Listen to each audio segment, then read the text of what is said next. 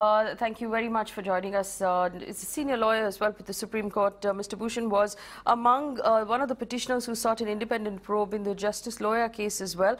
Uh, and uh, from what I understand, you called the verdict extremely disappointing and a black day. I want to understand from you, Mr. Bhushan, your reaction to this impeachment motion that has been moved this morning.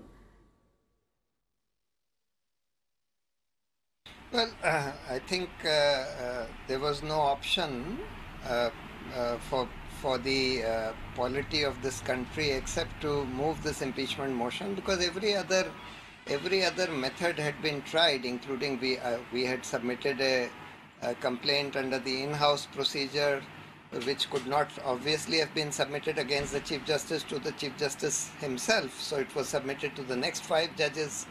That also did not elicit any reaction because the in-house procedure does not explicitly mention what happens when the complaint is against the Chief Justice himself. Mm. Uh, now, this uh, impeachment motion.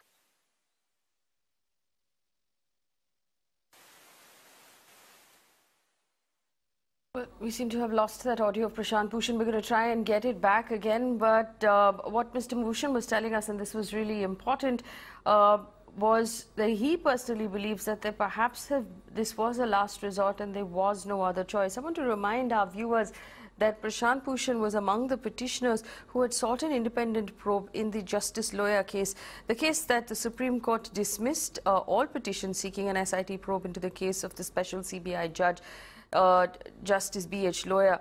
Uh, Mr. Bhushan had called this a black day in the Supreme Court history.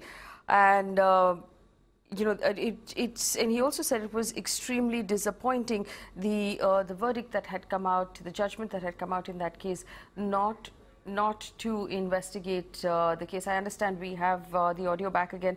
Mr. Bhushan, I apologize uh, for that bad connection. Please continue. So you were telling us uh, how you believe that this was uh, perhaps the last resort. Yes, you see, there are five serious charges against the Chief Justice. First, that uh, he apparently uh, entered into some agreement to obtain bribes in the medical college case, uh, of which the CBI has collected adequate evidence, but is for some reason is just sitting on that evidence. Uh, second, that uh, he backdated a memo which was uh, sent hurriedly to court number two in order to prevent court number two from fixing a bench in this medical college case, uh, which sought an independent investigation. Third, that he abused his uh, judicial and administrative power in order to hear and decide cases involving himself, which means this medical college case. Uh, fourth, that uh, he gave a false affidavit to obtain land for himself from the Odisha government when he was a lawyer. And lastly, that he abused his power as master of the roster in fixing politically sensitive cases before inappropriate benches, which is a charge which was also made by four senior judges in their press conference. Mr. Bhushan, so therefore, yes. in the light of such serious charges, Yes. Do you believe any of this was in reaction uh, in the light to of the... such serious yes. charges? Please go ahead. I apologize. Please go ahead. Go ahead, go ahead. Do you believe, go, go ahead, go ahead. Do you believe any of this was in reaction to the Justice Loya matter that was, uh, that was dismissed yesterday? No, no, I don't think it had anything to do with the Judge Loya matter because the Judge Loya matter decision came suddenly yesterday and the impeachment process and the signatures, etc., had been going on at least for the last three weeks. Uh, and they had sought time, uh, the political parties had sought time from the vice president a week ago, but he was uh, uh outside uh, the town and therefore appointment was given today. Otherwise, the signatures had been obtained on that impeachment motion much earlier. Mr. Bhushan, I, I, want to draw your attention to the fact, and you, and you said yourself that this has never happened before. In fact, the rules don't even clearly mention how this should proceed when the person in question is the Honorable Chief Justice of India. What do you think is going to happen next? Uh, we know what the procedure is, but how long do you think it will take, given the fact that this is such a grave and serious matter?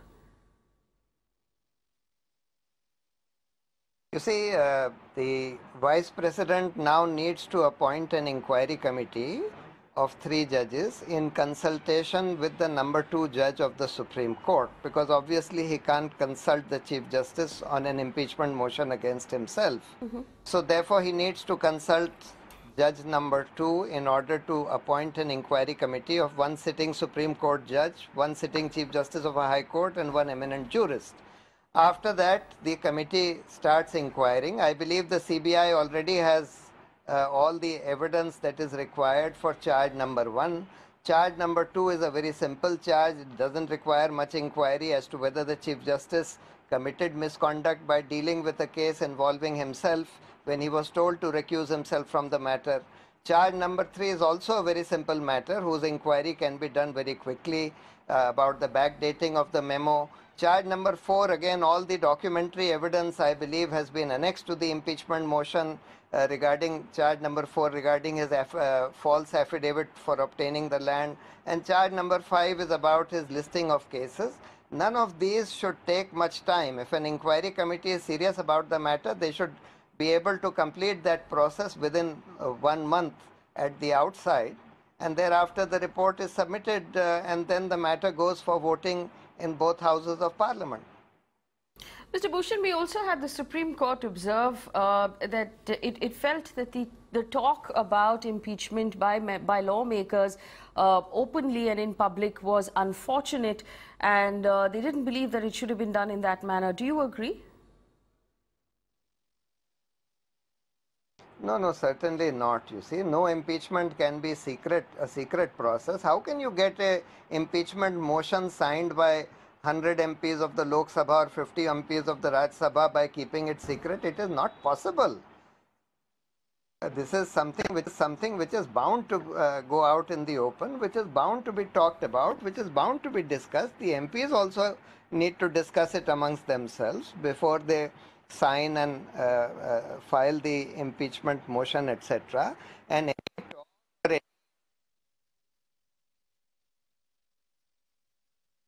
Right, uh, we're losing that line, but we're going to keep coming back to Mr. Bhushan and try and get that fixed as quickly as possible. Remember his reaction to the fact that there has been uh, sort of talk in the open about impeachment was uh, he said that it's impossible to get 71 MPs or 100 MPs, members of parliament, to sign such a serious impeachment motion against uh, against the uh, the Chief Justice of India without them having to discuss the matter. And it's possibly that discussion that has uh, surfaced in, in, in the public domain. Mr. Bhushan also making it very clear that he believed that, uh, you know, in, in this particular case, uh, the the vice president or the chairperson of the Rajya Sabha would have to would have to consult with the second, the number two judge of the Supreme Court, uh, because uh, normal precedent would be to consult with the Chief Justice himself, but in this particular case, that would not be possible. Our